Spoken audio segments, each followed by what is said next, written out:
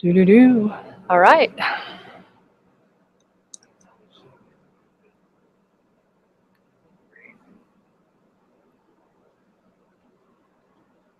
Oh, I'm in your way. Oh no, you're good. Oh, I don't know. Yeah. Yeah, that's around over there in uh, Robin's Chinese. Next week we'll put in some new projectors and there'll be eight of these lighting up. Oh, that's gonna be so cool. Yeah, it's really interesting. And they're like, oh my God. Where are you gonna put them at though? Oh, yeah, bull. We're gonna replace these. Oh, these I see them. There, there, there. Only we're gonna go, these, these are five in the ring and one on the cap. Hmm. We're gonna go to five in the ring and three on the cap, so we oh. can get the cap lit up like it's supposed to be. When you, you know, like this one is showing over here, and it's that segment. But you still gotta line up something here, so there's one right below that one. So how do you get those aligned? Is my next question. Um, I think the computers, go to a special program. So they where the bottom. And it was- It does this. I have to till two in the morning.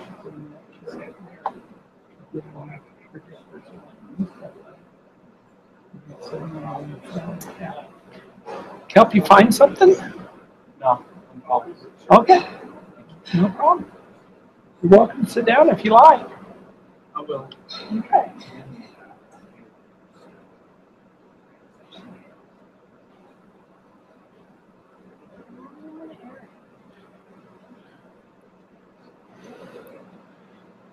Well, I'm not lit up very well. Let's see. No, I'm hoping. I'm hoping on stage. See? Now I'm lit up. Yeah, I'm hoping on stage it'll, it'll come out good. All right, we're getting people. We're gonna try and get pe- people. Okay, in you want me to Yeah, shuffle? right. Yeah, yeah, you're gonna try. Um, so- Um, this is mine, and I just have it right here to Okay. try to get the. okay.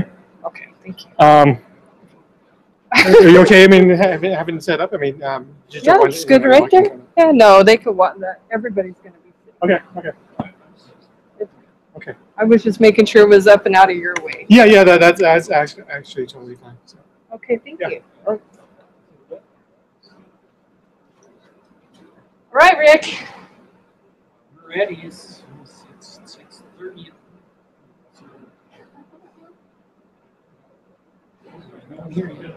I'm here. Oh, it was nineteen twelve on the flag. okay, 1912. Nineteen twelve.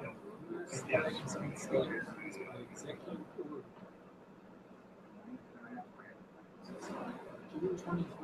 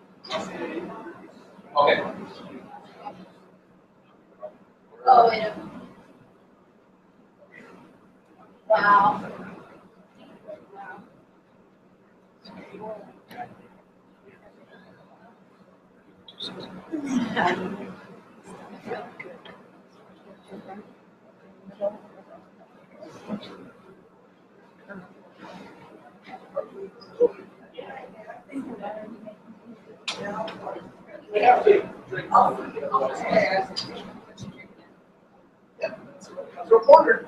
Um, it's true. I don't mind 90 shilling, but today good, but today definitely felt like a quarter day. Quarter day. We actually don't need to be here early tomorrow, so we'll probably okay, be cool. if you need us for anything, we'll be here by 5:30 ish ish. I'm good. But we're good. I'm good. Perfect. Um, should probably shutter that thing so people don't see the magic. All the pretty. All the all the PowerPoint slides that I'm showing. Good So luck with the showingness.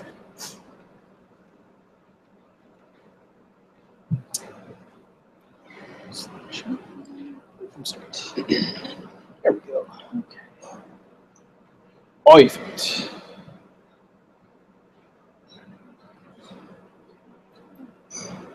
Oh, here somewhere.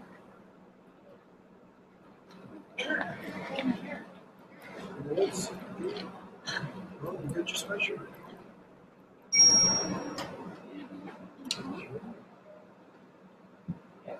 Oh, there it is.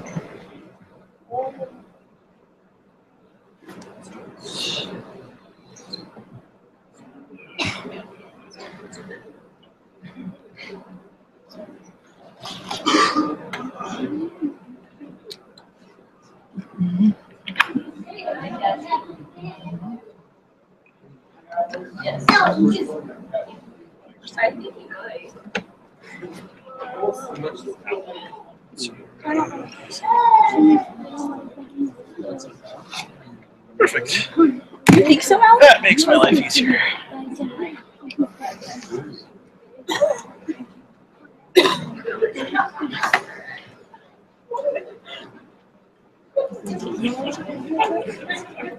She's probably lost.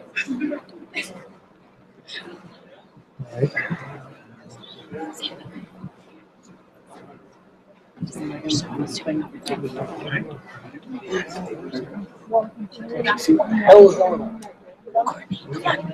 And then I have to run down talk.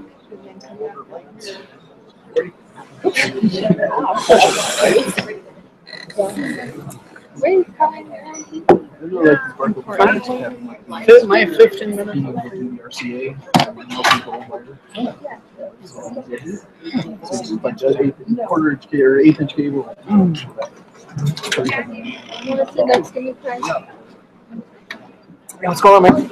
Don't mind me. Oh, you know, getting ready. Perfect.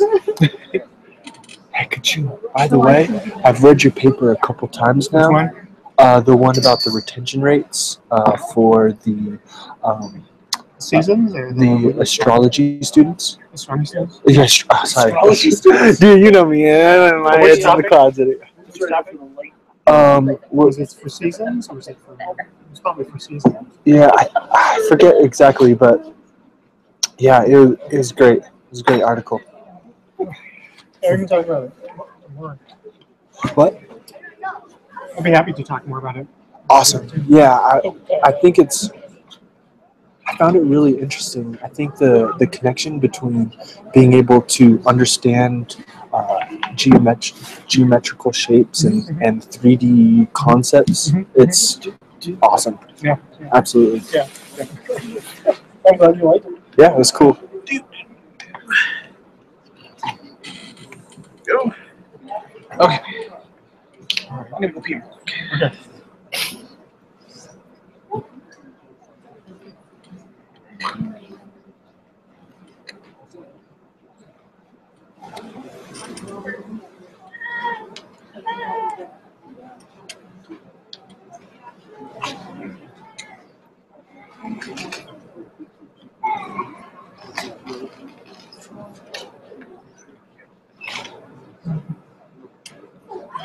yes, it was seasons. I'm sorry, I was I wasn't fully understanding. Yeah, yeah, the But topic is- Yes. Yeah. Okay. Awesome. Yeah, I have a follow up that's going to be published. Might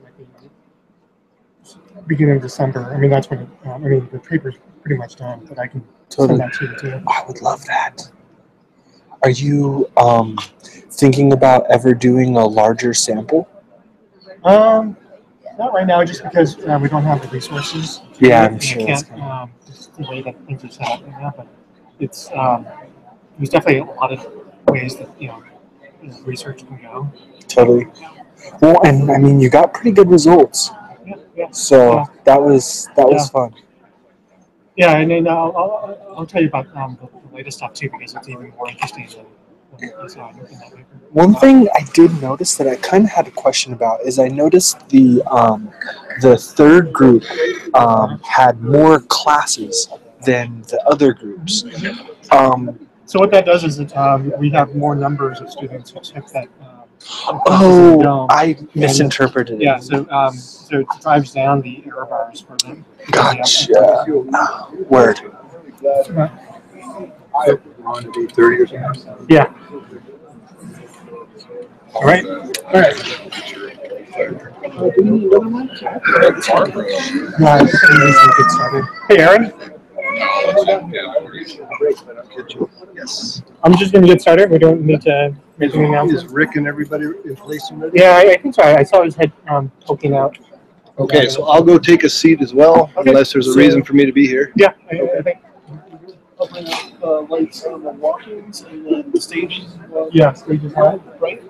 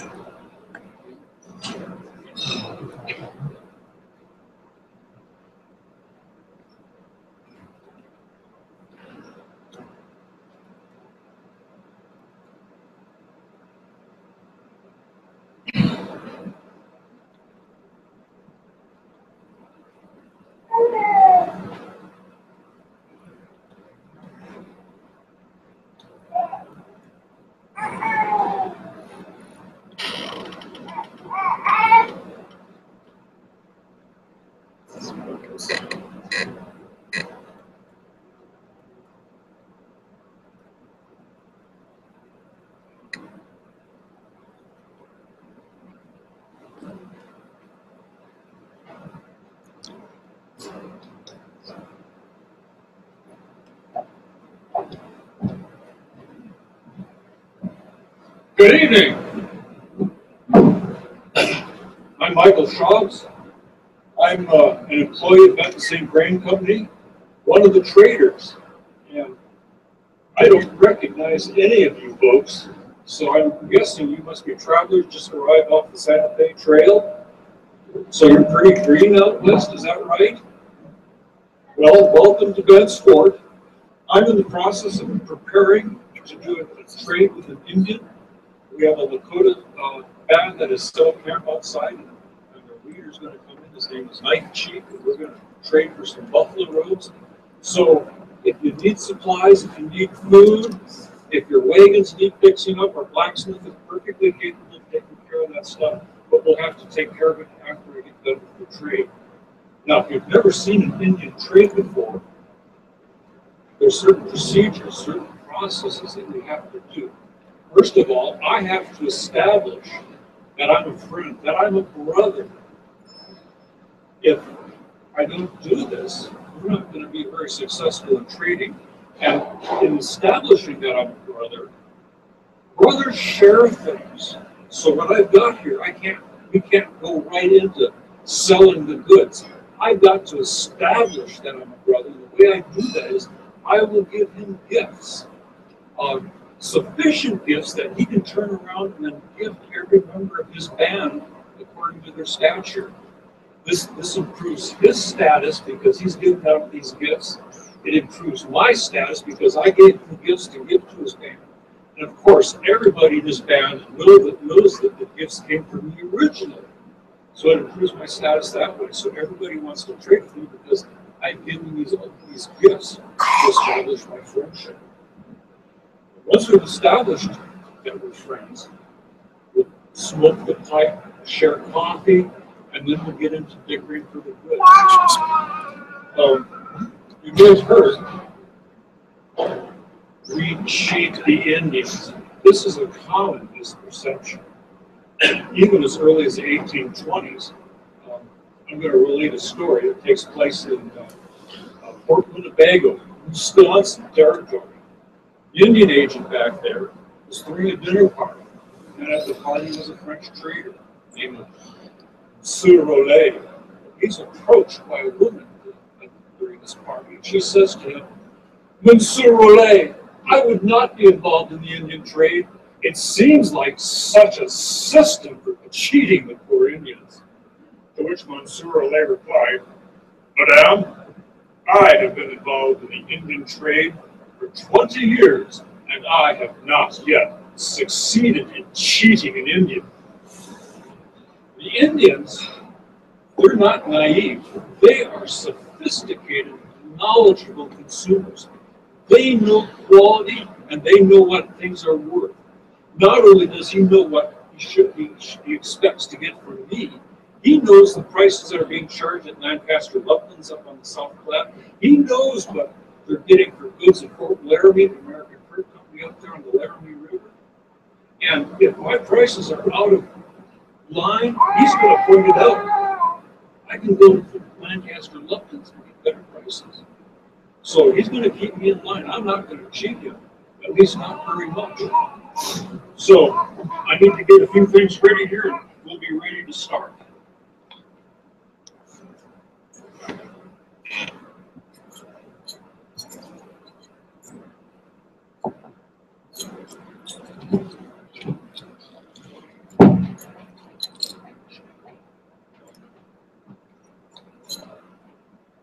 Friend, he does not speak English. We're going to do this in sign language. Buffalo.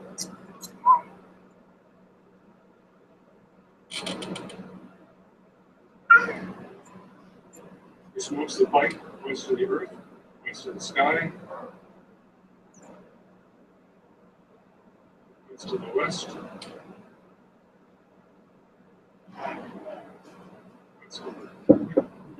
points to the east, points to the south. Gives the me to smoke.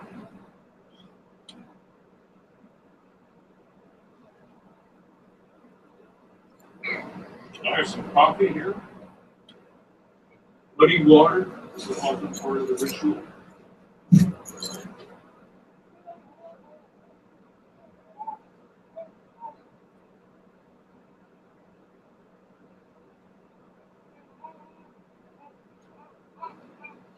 Give him gifts.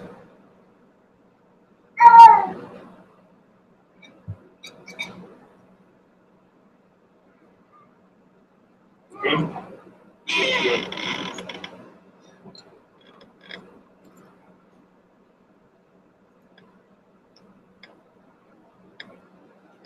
Tobacco, giving him tobacco.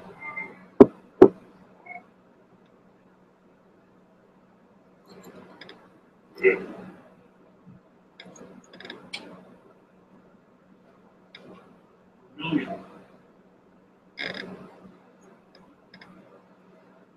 Million. Baby face, painting his yes, good.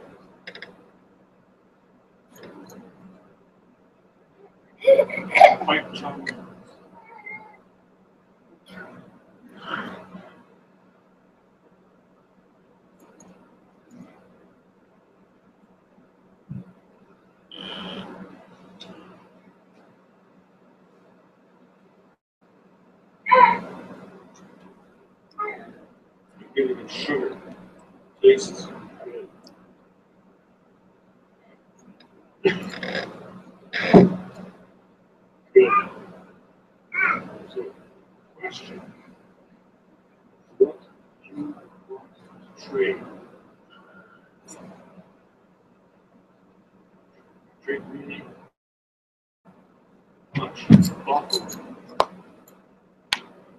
Wait. Yes, it. I train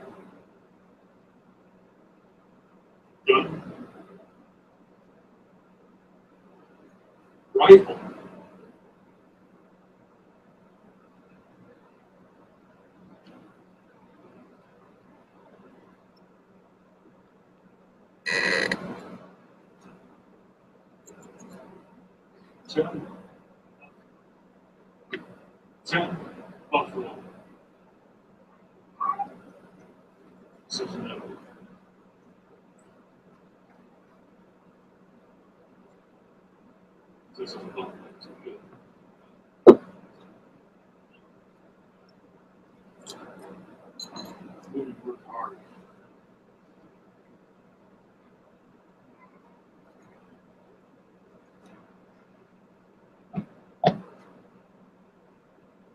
So seven Buffalo for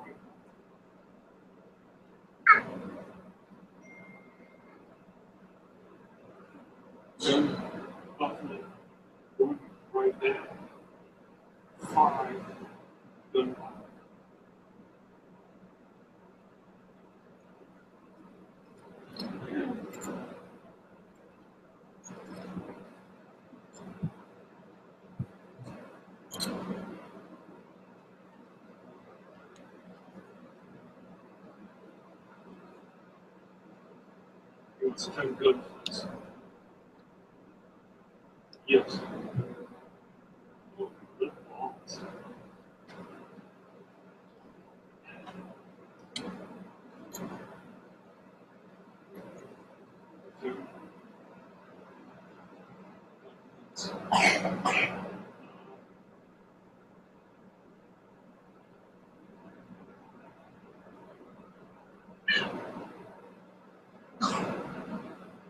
51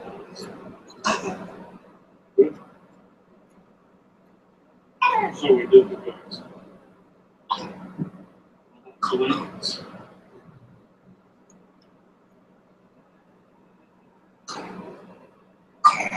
Three and a half point one. So it's a big one.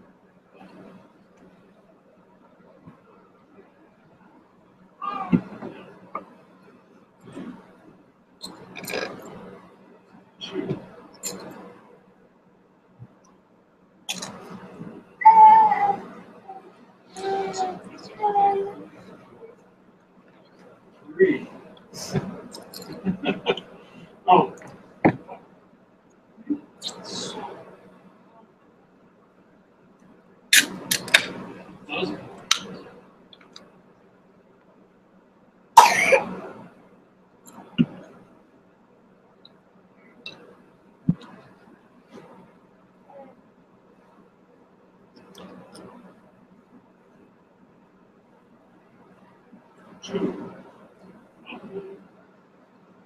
Two. One.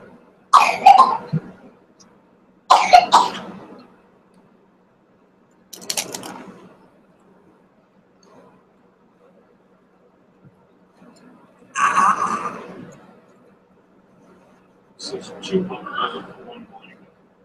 It was a smaller blanket that we enclosed. This is a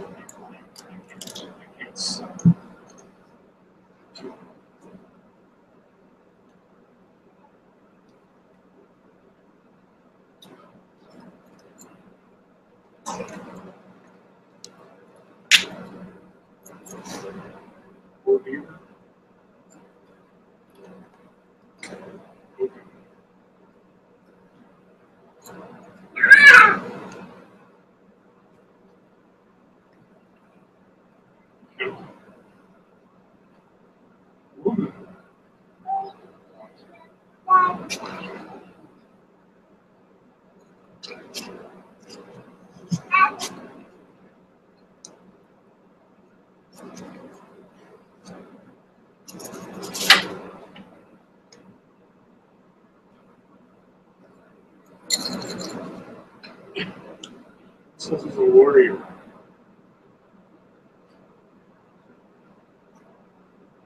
Ah, these.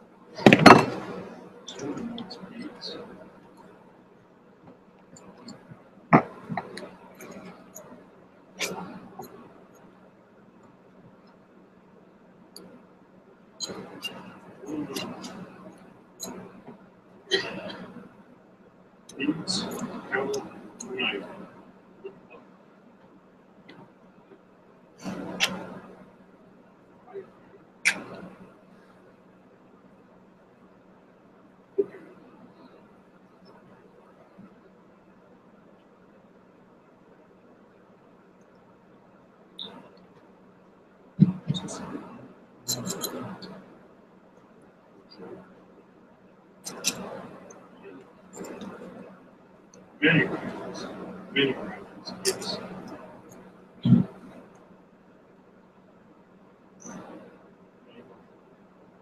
What we're doing is we are establishing prices for the whole thing, just deal with it. These are prices that are going to be held. He's asking many rifles to trade just this way.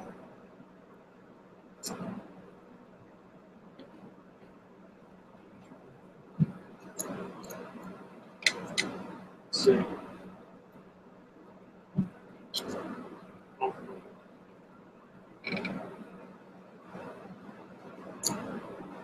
Yeah. Guns.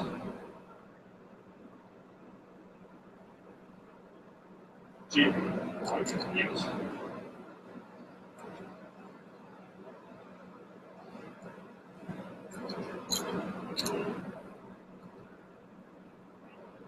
Shoot. Yes.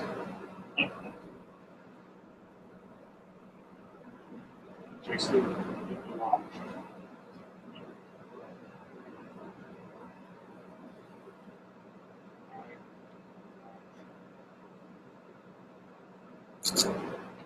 Yes.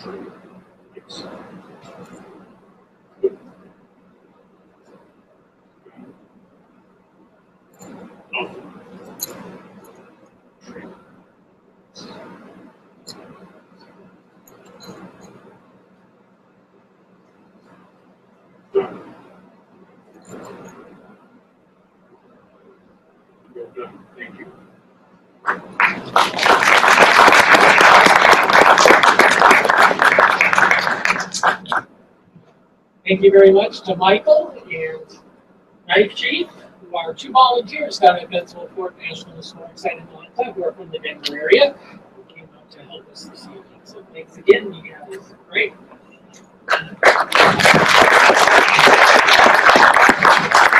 And believe it or not, what you just saw is a pretty short version of trade. Uh, the trade that went on with the tribes, between the Bents and the tribes, uh, often took hours and hours and hours, if not days, to work out the trades. So uh, you just got a brief taste of what it was like. So um, we are going to uh, uh, show you a little more of Bent's Fort now. Uh, we have a few um, videos that we shot um, that were uh, done in this virtual reality dome footage. Here's John Carson, one of the employees of Bent's Fort, riding a horse into the middle of the plaza. So you might ride into the fort and you might need to uh, have uh, oh, maybe some uh, new horseshoes put on your horse. And so you could get that done in the blacksmith shop at Bent's Old Fort. Blacksmith was a really busy guy at the fort, making a lot of items for the trade, uh, wagon parts for all the Bent St. Vrain wagons, oxen shoes, horseshoes. So we had a uh, working forge and blacksmiths that work at the fort. You see one at work here. I think he's just making a little S hook. Starting to lose its heat.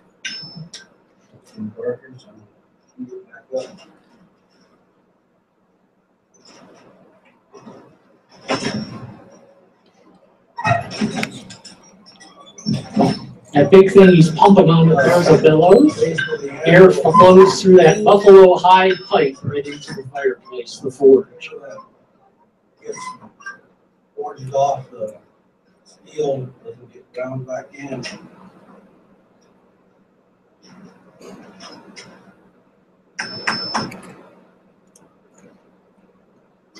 And some of the items the blacksmith made might actually be traded right out of the trade room into the fort to somebody who comes in to bring in their furs to trade. I definitely, let's see, I'd be needing some more land. Get that four bars. Uh, While you're there, you to give me a couple of cans of that gunpowder. That's DJ, our fort cat. He wanted to make an appearance. Let's see, what else? Yeah, let's see, I'm going up.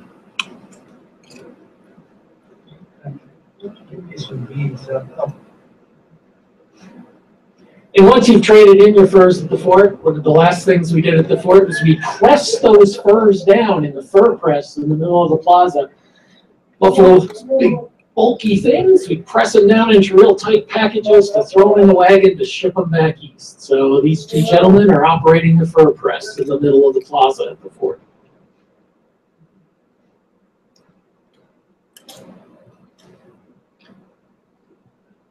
All right, so we can go to the, uh, the PowerPoint presentation.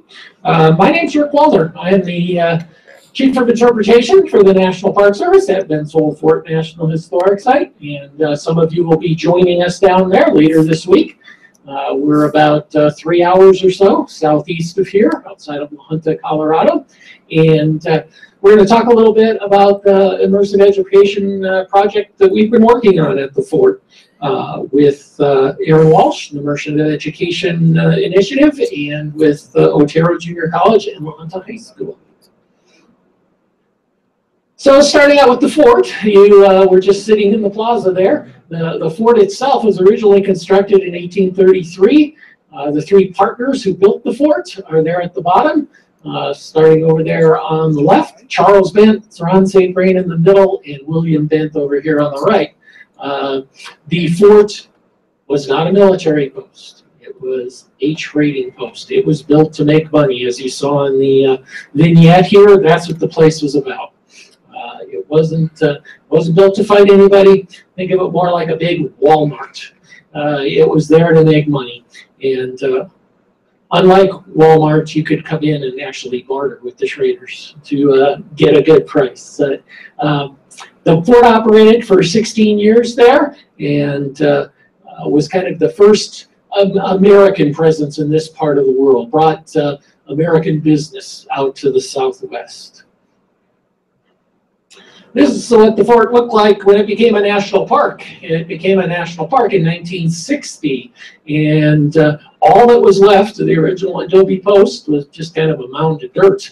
And uh, the National Park Service did excavations to uh, find all the foundations of the post uh, in preparation to rebuild the fort. And very uh, helpful in that reconstruction, the rebuilding of the fort, were some drawings that were done uh, by a man who visited the fort twice, 1845 and 1846, Lieutenant James W. Abert. And uh, these are a few of his sketches. Uh, the one up there at the top right uh, actually has measurements on it. And that was actually used uh, by the students too when they were reconstructing the, the fort in Minecraft. So here's the Park Service, uh, National Park Service reconstruction of the fort. It was done 40 years ago. 1975, 1976, the National Park Service rebuilt the post right on top the original foundation. So this is right, it's right exactly where it used to be. And as near as we can get it to what it looked like. So 40 years after that reconstruction, we've had another reconstruction. We've had a reconstruction by students at La Junta High School and Otero Junior College in the video game Minecraft. So you see the Minecraft view on the right there. Uh, today at the fort on field trips, school field trips, we get about 4,500 school students that come visit the fort every year. Um, tomorrow, millions, because we'll have that virtual fort out there and students from all over the world can come visit Bent's Fort. This uh, year, this month, and in fact, this week, are very important for the National Park Service because it's our 100th anniversary. Uh, Thursday, uh, August 25th, will be the 100th anniversary of the National Park Service. We were established on August 25th, 1916. So in celebrating our centennial, our director, John Jarvis, has really made it a point that we must find a way to connect to the next generation. And in fact, the National Park Service uh, is trying to do that uh, in one way, is certainly through virtual reality. It is a way to, to learn history. Uh, you have games that are historically based. Uh, the one down in the in the left-hand corner is one from Williamsburg, an interactive uh, uh, game that Williamsburg has developed and put online. Uh, and this is where we're headed with Bent's Fort. The Park Service, for its 100th anniversary, has put out what it calls a call to action, and it's steps to engage uh, the next generation of park visitors. And this project fits in just perfectly with a lot of those steps. Uh, here we talk about creating connections between a younger generation and the parks through diverse park experiences, working with education partners, youth organizations, and it talks about a progression of experiences from education programs to internships, volunteer opportunities to employment. And that again is one of the things that this whole project with Otero Junior College, with Immersive Ed is, uh, is giving the students at the high school in La Junta and at Otero Junior College good skills that they can use in the future, whether it's working for somebody like the Park Service or working somebody like Disney or working for a video game company or any other ways that virtually reality will be used in the future. We also want to provide multiple ways for children to learn. Uh, virtual field trips, so that'll be something we'll have. Online resources, educational partnerships. So again, fits into what the Park Service is trying to do. Reaching new audiences. We want to transform digital experience, have interactive, up-to-date content from every park and program. So uh, another way our program, our project fits right into this. And finally, we got engaged with interpretive media that offer interactive experiences, innovative, immersive, fully accessible and learner-centered experiences. So all things that uh, this project uh, is working on. And you'll hear more about that sort of stuff from uh, Aaron and Megan here in just a minute. So what we have is the uh, uh, virtual Bent's Fort built in Minecraft uh, over the years 2015, 2016. Uh, the students there constructed the fort, and we'll have the virtual ribbon cutting on Thursday uh, down in La Lahonta at Otero Junior College.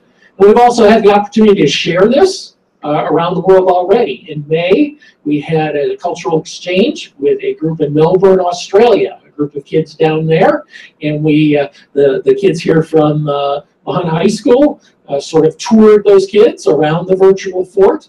And we also have them now working on the fort too. Uh, I sent the pictures of all rooms in the fort, and they have been working on the uh, furnishings tables, chairs, shelves, counters, things like that to go around in the fort. So we have got uh, this group in Australia uh, involved in working on the fort as well.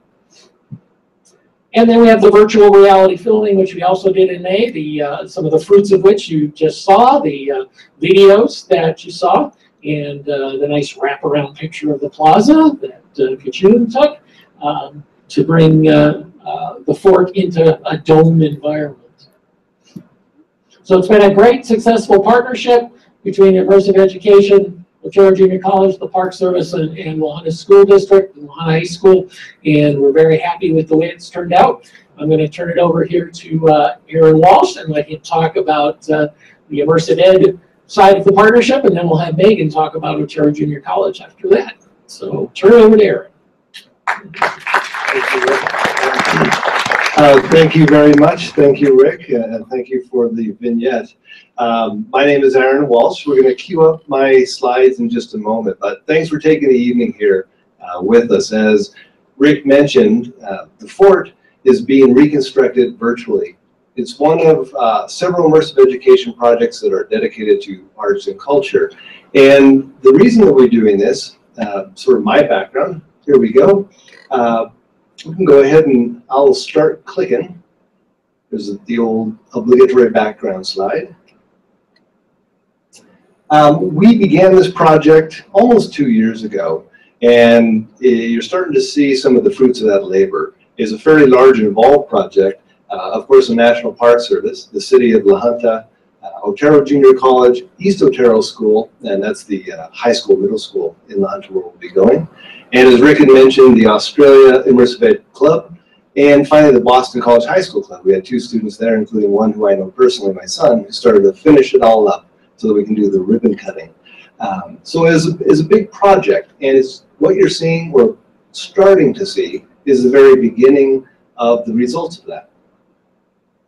Uh, I would also like to think that tonight was possible in, the- in the presentations that you will see coming up, in large part to uh, Immersa, sponsor of the event and also a collaborator, who focus and specialize in dome, sort of planetarian, maybe another word, but we call them a dome primarily, dome-based uh, entertainment, research, and media. So with great thanks to Immersa uh, for organizing this. And that came by way of a local committee here in Denver that worked uh, for almost eight months, I think we were working on this. So is the individuals here, Kachun, Dan, Ethan, Ben, and David that made this uh, night possible. So thank you personally to them. Yeah, a clap wouldn't hurt because we wouldn't be here.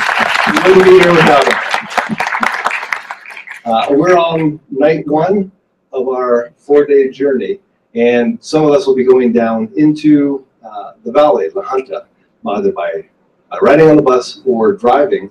And we'll start at that point to really see the fort. And you will have virtual reality headsets. I'll show you how to use those. And you can actually start to see everything you saw on the dome virtually in those headsets that you have. So at the end of the night, I'll, I'll give you a sneak peek on how to use them.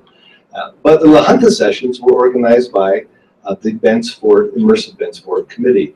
And there's a familiar name up there, Tim Walsh, that's my father who's around here in the back somewhere. There you go.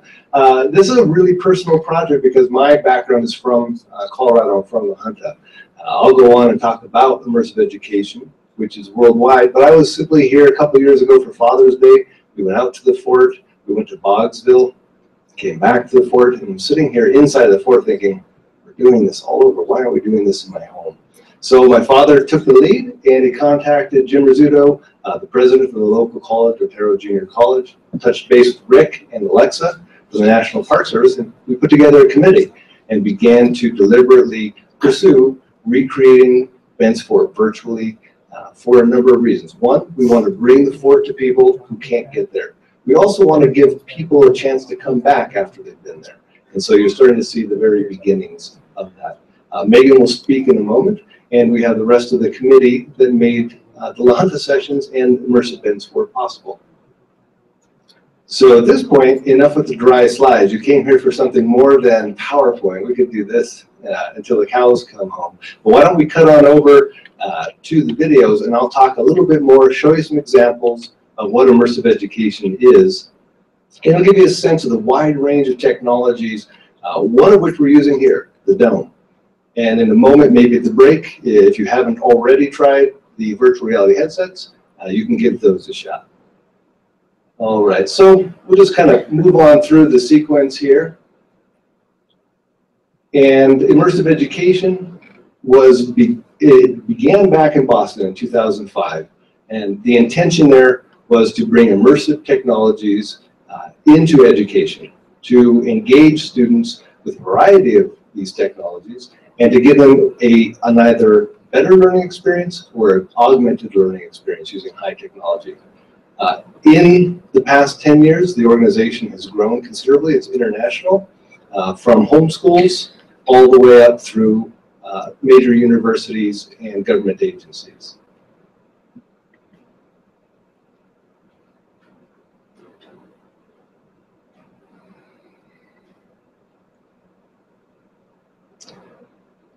It's a suite of technologies I'm going to show you. Uh, primarily people are interested in virtual reality. That's real hot right now. But virtual worlds, learning games, simulation, something we call FAM, being able to walk into a room and experience it virtually. Uh, and also 3D printing, being able to take these virtual objects and turn them into real physical objects that students can handle and interact with. You'll see some of that in Lana. So the question I, I get asked most is, you know, what is immersion? You know, what is the intention here? And the intention was simply to kind of recreate this experience that I had in Boston, coming from La Junta, Colorado. I had read about the Boston Tea Party. I read about Paul Revere's ride, it was all in textbooks of black and white. And it didn't interest me. I did it because I had to. Um, but when I got to Boston, I was like, oh my God, this is the real deal. We're on the boats, we're on the trail, it's Paul Revere's house. And it really struck me that I was immersed in the physical reality here and I had no way to share it with family back home or friends. Uh, at that point, I got deeply involved with virtual reality. I thought, here's an opportunity to share the experiences. That's all it began with, share the experiences I'm having with my family and friends. I was working at Boston College at the time, and as the development of the technology progressed, it became very clear that it was a way to give students a sense of being there, being present in the moment. And the sense of being there with virtual reality can actually lead to an authentic learning experience that you believe, your brain believes happened. So I'm going to show you some examples of what being there in virtual reality means.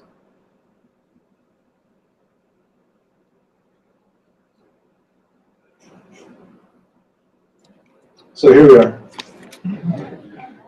We're here physically.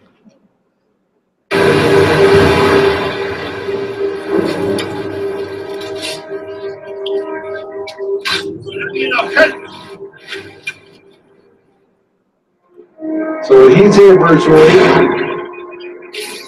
His brain is telling him he's there.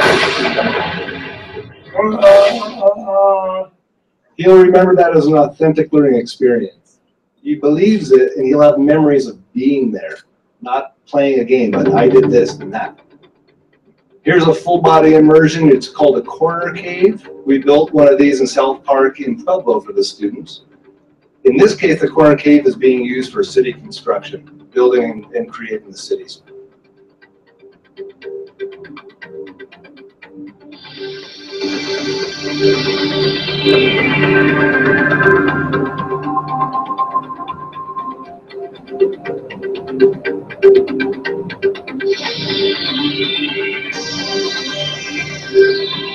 Here is actually laying out the grid of the city, city design.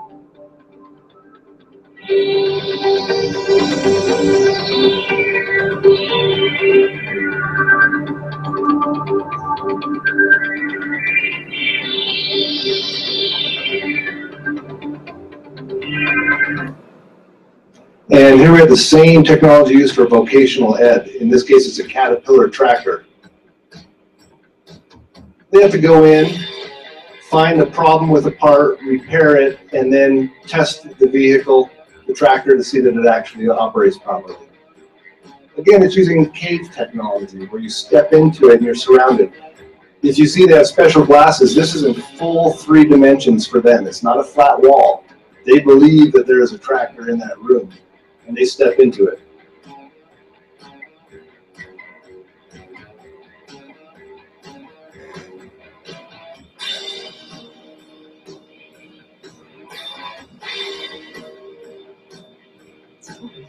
We're going to repair it, and in a moment he'll step on in.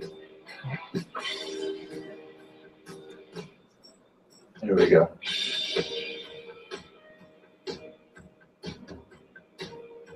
And we can actually, if you hit the, the right arrow, we can jump over to the next sequence. Thank you. All right, so these were test subject one and two, who you'll maybe meet tonight or over the next couple of days. Those are my children. And uh, we were working with virtual reality in the early days when they were still very young. And uh, about a decade ago, Immersive Education brought this technology over from uh, Singapore, a research lab there. And there, I'm in my living room playing with it. And what you see here is a mixed reality. My living room, and me off screen, twisting this little card. And the card is called a marker. Looks a little bit like a QR code if you're familiar with those. And there's my son Liam. I just said, check this out. I sat him down the chair. He put the cards in his hand. He starts doing what's called spontaneous uh, learning. He's questioning things. He starts, one of the first questions he asks is, why, if this is the Earth, why isn't it round? I said, well, the gravity field. Mountains, oceans, different types of um, deposits make for a, a non-round gravity field. Then he starts putting them together. How does a rocket land here?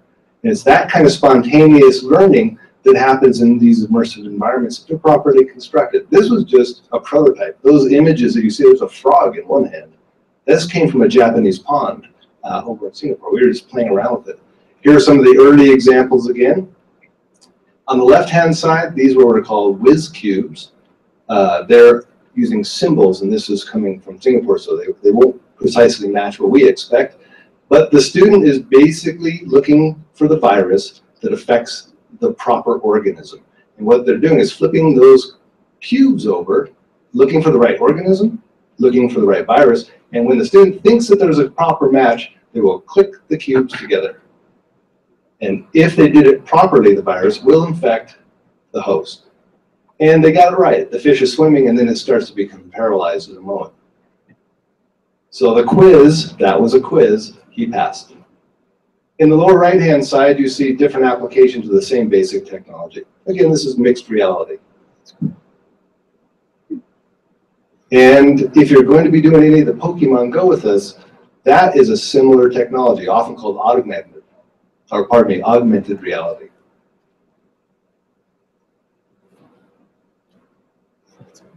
So these are really old examples of augmented and mixed reality. In a moment, you're going to see some very modern examples, and we'll play Pokemon Go. If you're interested, you can join us. Uh, that is a current example. The world's most popular augmented reality is currently Pokemon Go. If you turn the augmented reality option on.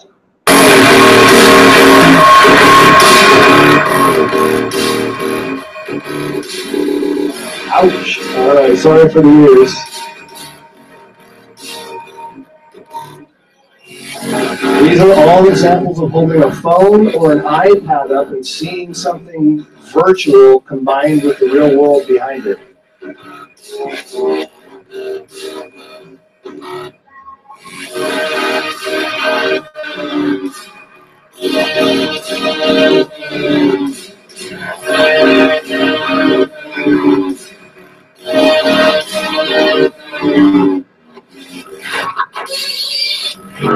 It's essentially an invisible hidden world that your phone or your tablet unlocks. That's my favorite, the creepy baby. All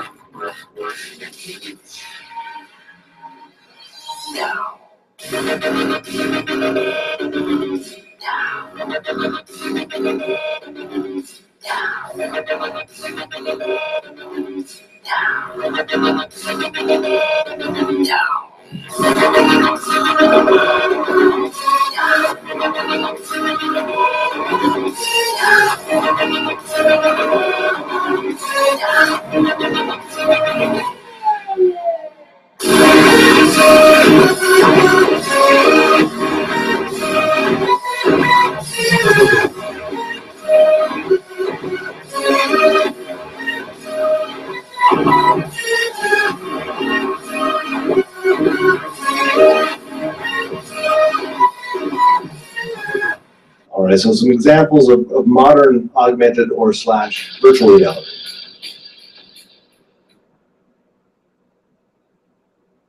Okay, so in this example, what we have is called a virtual world. So we've seen virtual reality, augmented reality, now a virtual world. It could be used in virtual reality with a headset, but it, in this case, it's used on the flat screen. And we were asked by Cell Parking in, in Pueblo to bring their students places that they couldn't afford to go, including the local zoo. That was quite astonishing. They had buses, but no gas, no, no funds for gas, no funds for the driver. They asked us if we could in fact create something or bring them to a zoo or aquarium, and we could certainly do that. And what the kids were doing was just playing. Let's quickly choose our personal goal. So another example. guys have a couple to choose from. So in this example, what we see is a virtual world for a totally different usage. This is a virtual world to get students with autism comfortable with interacting with other people, helping them to read the facial cues, helping them to interact. They walk into this virtual world, they have a virtual character. Psychologically, that virtual character goes through a process of projection where they feel as if they're that character. It's very powerful. If your virtual character loses weight, you're more apt to lose weight or gain it. In this case, the students have a virtual character and they become comfortable interacting. So children with autism who often have difficulties are practicing in virtual worlds.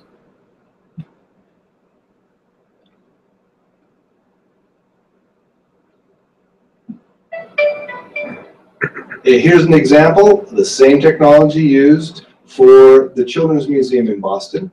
Uh, we created this as a way similar to Bent's Fort to give visitors a chance to return to the Japanese house. This is a small Japanese house that is pretty delicate.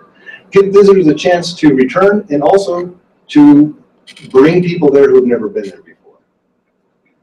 This is one of my favorite uses of virtual worlds. It's, it's a time lapse, but we have students in an architecture program who have created the blueprint, digital blueprint, they lie it down. Then they have to construct. And every student is accountable for a different piece and the instructor can see who built what. There's really no way to cheat. Your, your avatar, your character is tied to everything you build. So you have an inventory of what you created and when. And maybe we turn the audio up on this and let, just let Harvard graduate students talk about what they've been doing in their program.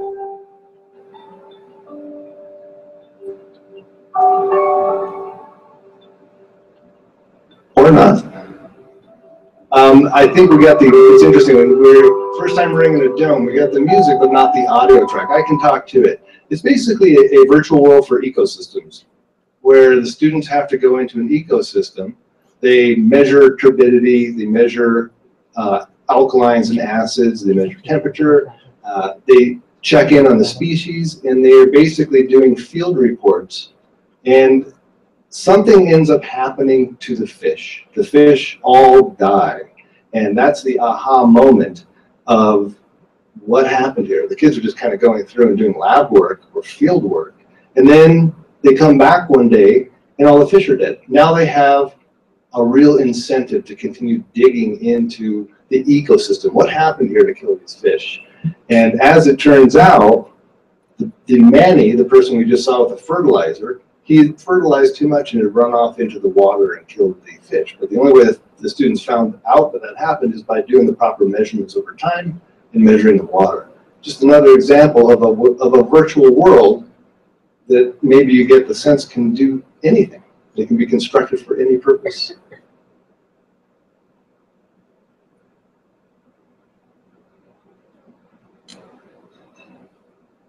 In just a moment, we're going to see an atom.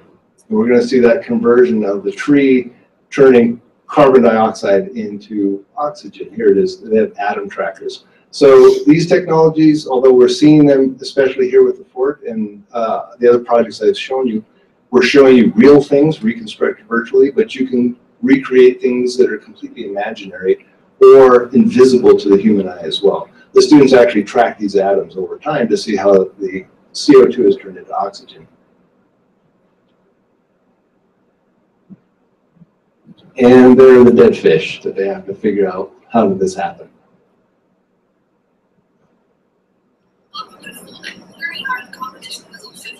All right, in this case, um, I'll go ahead and in just a moment, we'll jump over and we'll just move on. Uh, this is a completely different immersive technology. We're out of virtual worlds at this point. Now we're into what are called learning games. This is a protein folding game. And what the students are doing is compacting proteins and they're competing against each other. So for medicine, you need to efficiently fold proteins. For new medical discoveries, you have to fold proteins. Typically, it requires multi-million dollar labs and PhD level individuals to operate that equipment to fold protein. This game called Foldit went out on the internet. Students at high school level started to use it. And the art of folding proteins, it became clear that when you're properly incentivized, high scorers could do it. And they were doing it better in many cases. They were folding proteins more effectively than the professionals with multi-million dollar equipment. That was sort of staggering. Uh, here we have an algebra example, and I think what we'll do, just we'll show it for just a second, but it's the same idea of a learning game where the kids have to solve algebraic problems to play the video game and to compete. And they're having a competition here. We'll get just a second of the screen, and once we see the screen, I'll ask uh, to advance to the next video.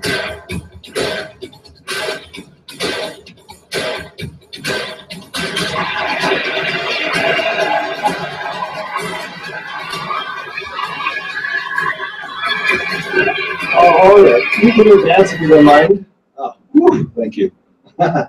all right, this is what I call the inversion of immersion, using all virtual, all virtual, all virtual. That's fantastic. But we do know that holding and turning something around your hands has a special impact on your memory and on your, your nature, your ability to understand what it is that you're uh, learning about. What we see here are 3D printed objects. They came from virtual objects. They're printed one layer at a time with different materials, all the way up to titanium. Everything that you see here that looks like it's made out of plastic is made out of a certain type of printed plastic. But it gives the educator the power to print these objects that they're learning about virtually. And we can jump out of this one as well. So just wanted to give a taste. And finally, I think we're, yeah, here we go. If we can turn the audio up on that, this would be great. Oh no.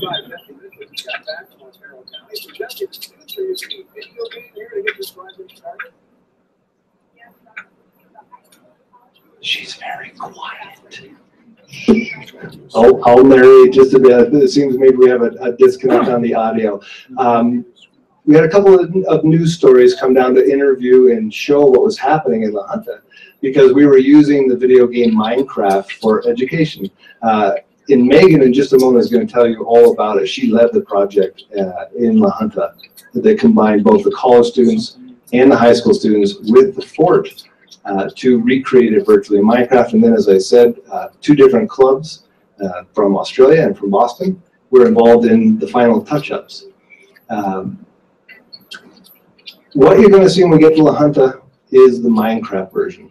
You'll also get an email that will give you links to view the virtual version or portions of it, at least the early versions, on your virtual reality headsets. You need another beer? And with that, I think we're in a good position. Maybe I could turn it over to Meagan because she can tell you much more about how they ran this uh, club, how they reconstructed the fort, and then we can get on with the rest of the sessions tonight. So if Meagan's here, I'll turn the mic on over to her.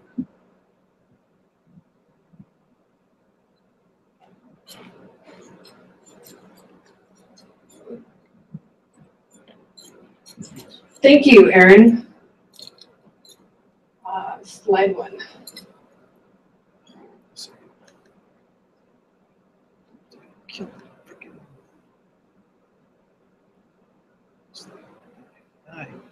Maybe, maybe not. Yeah, it's coming. It's coming. It's coming. Okay.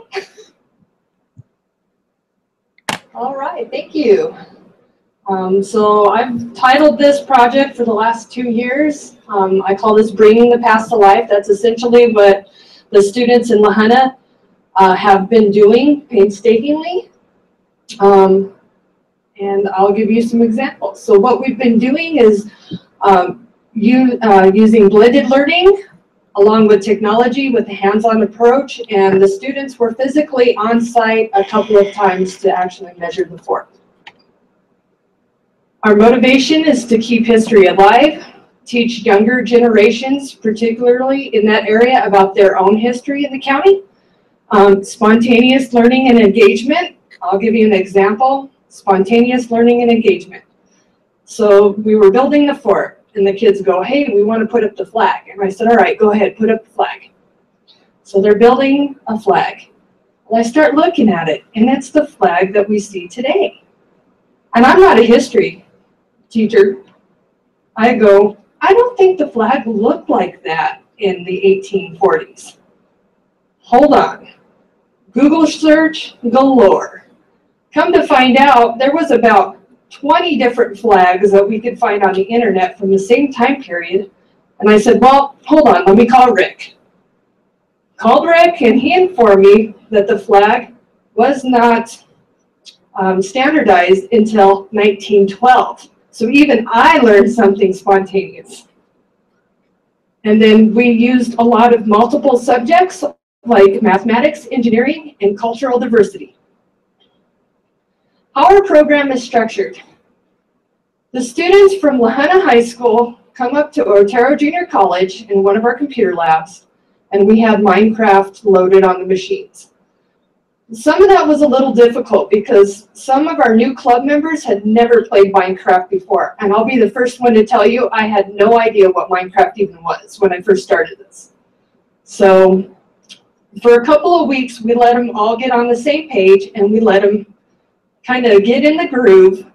And then after that, what we did is we put them off in sections and then they're able to um, work together. Here's another clincher. They have prints of the fort, yes, but they don't have measurements, like accurate measurements.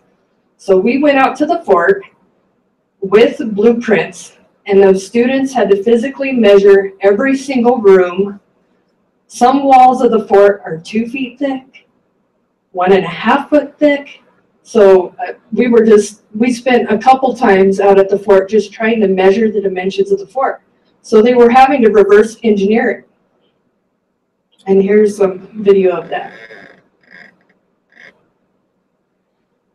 Once we got that done and we were coming in, Aaron came down as a treat to them and brought down Google Cardboard, which was fabulous because nobody in our area had even seen that. And actually, you guys have that in your bags. So if you don't know what that is, you're gonna you're gonna get a dose of it young and old in that room were astonished. I think we were in a Jurassic Park world getting chased by T-Rex. So during one of the breaks, come find me, I'll tell you which app that is. So here's a couple pictures of what the students have done.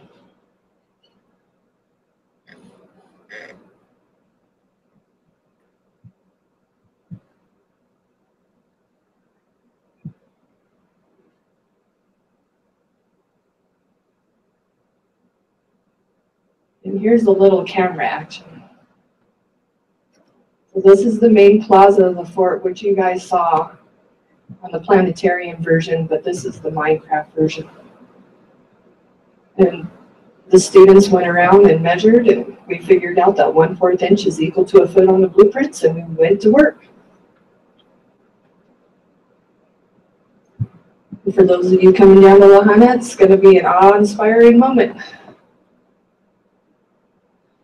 So this wouldn't be possible at all without the huge collaboration effort in between the National Park Service, IAD, my college, and the high school. So where are we going with this? Yes, we did this in Minecraft, and I'll tell you what, I'll be the first one to tell you, I'm so glad we're done with that part.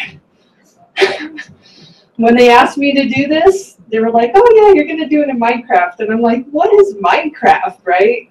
Well, I look at it, I'm like, this is something I played in like 89, the first Mario Brothers and worse, you know. It's like big Legos. So we're going to move on to the structure sensors, and I have, oops, and I have two students that are going to demonstrate that for you guys. We're going to go out there and do another rendition. We want to do 360 degree pictures and videos, virtual reality, and ask, um, accessed from all over the world. And here's an example of that. The students, Rick threw up a picture earlier. This was the video of uh, the two high school students that I had, and they turned around and they gave a virtual tour of Bent's Fort Clare in Melbourne, Australia. And um, it was new to me because I, you have to really strain to hear to understand somebody with that thick of an accent. But the kids were great. And that's all I have. Thank you.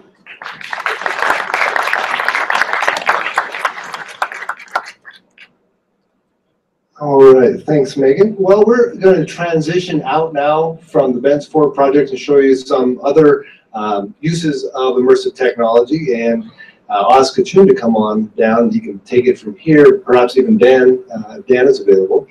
Uh, but maybe I'll make a couple of comments super quick as we uh, do the transition. The Minecraft version of the fort was created, as Meagan said, and she looked at it and said, wow, it's really blocky and basic, but it was at that moment the world's most popular video game and our target audience was fourth grade students in Colorado.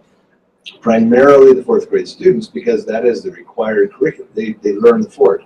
Now that that piece is done, as Meagan mentioned, we're going on using much more sophisticated technology that gives you a, a more present sense. Um, speaking of presence, we're going to transition now, as I said, into more dome, and I'll ask Dan to lead us through the immersive sizzle reel, and then we'll move on with a couple of presentations and take a break. So uh, thank you very much. Dan, if you take it from here, the MC for the next two nights.